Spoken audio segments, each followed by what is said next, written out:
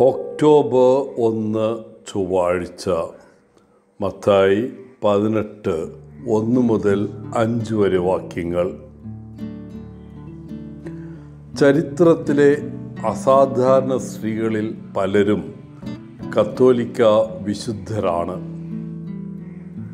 അവരുടെ സൗമ്യവും മാന്യവുമായ രീതികളും ദയയും ധൈര്യവും ആത്മവിശ്വാസവും ആസൂത്രിതവും എളിമയും സത്യസന്ധത നിറഞ്ഞതുമായ പ്രവർത്തനങ്ങൾ തീർച്ചയായിട്ടും വിലമതിക്കപ്പെടുന്നു. അവർ ശക്തമായ ഇച്ഛാശക്തിയുള്ളവരായിരുന്നു. അതേസമയം ആത്മനിയന്ത്രണത്തിന്റെ സൗന്ദര്യവും അവരിലുണ്ടായിരുന്നു. അവരിൽ ചിലർ അവിശ്വസനീയമായ ചിന്തകരും പ്രാർത്ഥനാ നിരതരായ വിശുദ്ധരുമായിരുന്നു. മറ്റുള്ളവരോടുള്ള സഹാനുഭൂതിയും അനുകമ്പയും പ്രകടമാവുന്നതുപോലെ അവരുടെ സ്നേഹത്തിന് അതിരുകളില്ലായിരുന്നു. അതിന്റെ ഒരു ഉദാഹരണമാണ് ഇന്ന് തിരുനാൾ ആഘോഷിക്കുന്ന വിശുദ്ധ തെരേസ ഓഫ് ലിസ്യു. പതിനഞ്ചാം വയസ്സിൽ ഒരു കർമ്മിലിത്ത കന്യാസ്ത്രീയായി സന്യാസ ജീവിതത്തിലേക്ക് പ്രവേശിച്ച തെരേസ. ഒൻപത് വർഷത്തിന് ശേഷം തന്റെ ഇരുപത്തിനാലാമത്തെ വയസ്സിൽ മരിച്ചു. ലിറ്റിൽ ഫ്ലവർ എന്ന് സ്നേഹപൂർവം അറിയപ്പെട്ടിരുന്ന തെരേസ താൻ എവിടെയാണോ നട്ടു വളർത്തപ്പെടുന്നത് അവിടെ പൂവിടുന്നതിന്റെ ആത്യന്തിക ഉദാഹരണമാണ്.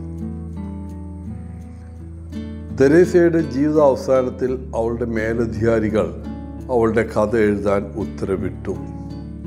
ആ രചനകളാണ് ശാശ്വതമായ സ്റ്റോറി ഓഫ് എ സോൾ എന്ന ക്ലാസിക് പുസ്തകമായി മാറിയത്.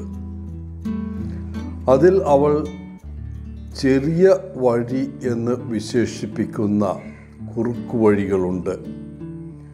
ഏറ്റവും ചെറിയ പ്രവൃത്തികളിൽ വലിയ സ്നേഹം പകർന്നുകൊണ്ട് ചെറിയ കാര്യങ്ങൾ ചെയ്യുക എന്നതായിരുന്നു ആ കുറുക്കു വഴിയുടെ സാരം.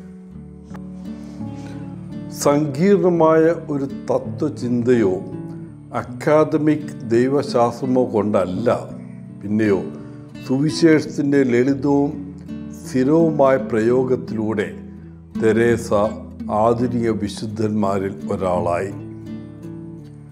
നമ്മൾ മറ്റൊരാൾക്ക് വേണ്ടി ചെയ്യുന്നതെന്തും തനിക്ക് വേണ്ടിയാണ് ചെയ്യുന്നതെന്ന് യേശു പറഞ്ഞപ്പോൾ തെരേസ യേശുവിന്റെ വാക്ക് വിശ്വസിച്ചു. ആരെങ്കിലും യഥാർത്ഥത്തിൽ ക്രിസ്തീയ വിശ്വാസം ജീവിക്കുമ്പോൾ അത് പ്രായോഗികവും പ്രസക്തവും ചെയ്യാൻ സാധ്യമാവുന്നതും പ്രതീക്ഷ നൽകുന്നതുമാണ്. ലിസിയോസിലെ തെരേസ് തന്റെ ജീവിതം പാഴാക്കിയില്ല.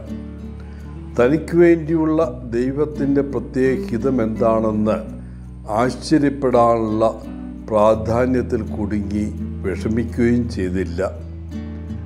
എല്ലാവർക്കും വേണ്ടിയുള്ള ദൈവത്തിന്റെ ഇംഗിതം എന്താണെന്ന് അവൾക്ക് വ്യക്തമായി അറിയാമായിരുന്നു. അത് മറ്റൊന്നുമല്ല മറ്റുള്ളവരെ സ്നേഹിക്കുക.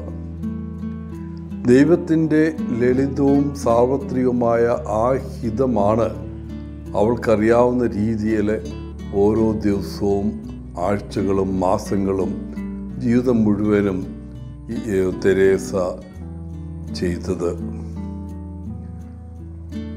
തെരേസ ഒരിക്കൽ എഴുതി ദൈവത്തിന്റെ ഇഷ്ടം ചെയ്യുന്നതിലും ദൈവ ദൈവം ആഗ്രഹിക്കുന്ന പോലെ ആയിരിക്കുന്നതിലും വിശുദ്ധി അടങ്ങിയിരിക്കുന്നു.